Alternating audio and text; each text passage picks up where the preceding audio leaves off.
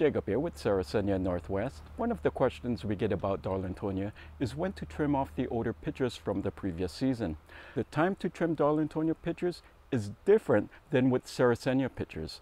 With Sarracenia, we recommend trimming the older pitchers in late winter, right before new growth occurs. We do this to make sure the new growth gets as much sunlight as possible. With Darlingtonia, however, we recommend trimming last year's pitchers in late June or early July after new growth occurs. We do this because Darlingtonia grows slower than Sarracenia and they are typically grown in slightly shaded conditions depending on one's climate. Keeping the older leaves on a bit longer will give these plants a boost in growth. Here are several plants that could use a trim. Each have newly opened pitchers and a bunch of older ones from last year. Some of the older pitchers are drying up and some are looking relatively good. So I'm going to begin by cutting off the pitches that are starting to dry up. Now besides the newly opened pitchers, what we have left are a few older pitchers that look relatively good. Sometimes folks will ask me if they should trim them off too.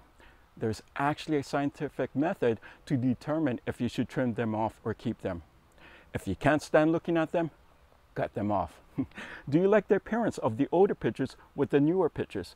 If so, keep them. If not, go ahead and cut them off now. At this time of the year when we have new growth coming up, there's no harm in keeping the older pitchers or cutting them off. It comes down to what you prefer. Pretty easy, right? So here's what it will look like if we were to trim off all of the older pitchers. So here are two plants where I trimmed off all of the older pitchers and just kept the newer pitchers on. Now this plant here has the older pitchers that look relatively good.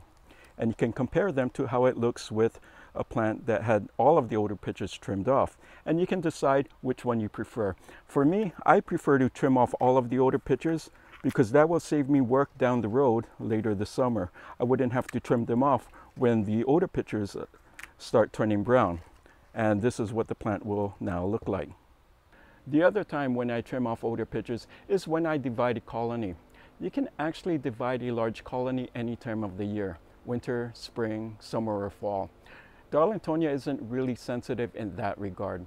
So if I happen to divide a colony in winter or fall, I may trim several of the older pitchers to prevent transpiration or excessive moisture loss, depending on how the roots look on each division.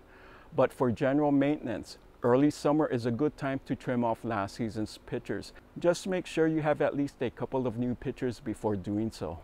If you would like more information on growing Darlingtonia, visit our website, growcarnivorousplants.com and look for the care info section. We have videos on growing the plant. Also, check our inventory. Sometimes we have them in stock, but if we sell out, we won't have any for another year or two. Thank you so much for watching. I look forward to seeing you in another video.